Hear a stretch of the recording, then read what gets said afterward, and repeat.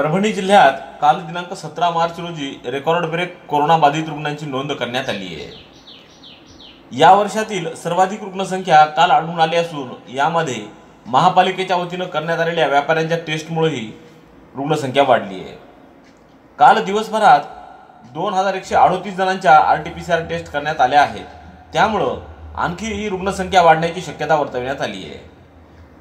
काल तब्बल दोनशे पस्तीस कोरोनाबाधित रुग्ण आढळून आले आहेत. तर वीस रुग्ण कोरोनामुक्त झाले आहेत. एका रुग्णाचा मृत्यू देखील झाला आहे.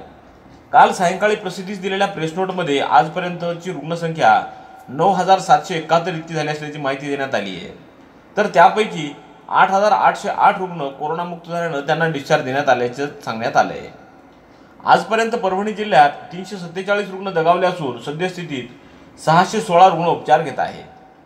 कालच्या आकडेवारीवर नजर टाकली असता त्यात सर्वाधिक रुग्ण हे परभणीचे आहेत. त्यापाठोपाठ जिंतूर सेलू व गंगाखेडमध्ये मोठ्या प्रमाणात रुग्ण वाढ झाल्याचं दिसून येत आहे परभणी शहर व तालुक्यात एकूण एकशे एकोणपन्नास रुग्ण आढळून आले. तर तालुक्यांमध्ये सर्वाधिक जिंतूर तालुक्यात एकतीस रुग्ण आढळून आले आहेत.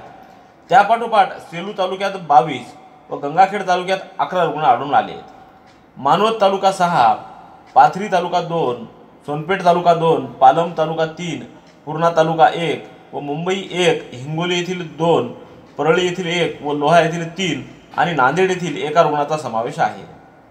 दरम्यान कालच्या आकडेवारीचं अवलोकन केलं असता जिंतूर आणि सेलू तालुका कोरोनाच्या हिट लिस्टवर असल्याचं दिसून येत आहे जिंतूर सेलू व गंगाखेड या तालुक्यांमध्ये दोन आकडी संख्येत कोरोनाचे रुग्ण आढळून येऊ लागल्यानं आरोग्य यंत्रणा खडबडून जागी झाली आहे. ग्रामीण भागात होत असलेला कोरोनाचा संसर्ग हा काळजीचा असून याबाबत प्रशासनाकडून उपाययोजनांना सुरुवात करण्यात आली असल्याचं दिसून आलं आहे